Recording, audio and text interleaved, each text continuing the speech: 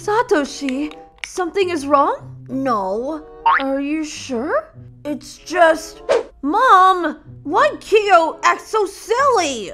What? 20 minutes ago. Kyo, your dad was looking for you. Hmm? Total silence. Do you want? No, th- thanks. She was eating dirt!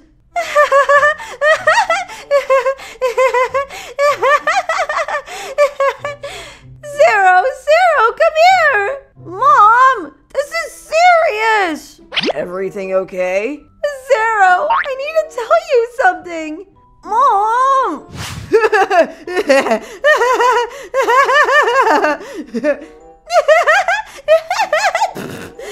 She is like Denki. Uh, and since that day, my parents have not stopped laughing about it. But don't worry, Kyo.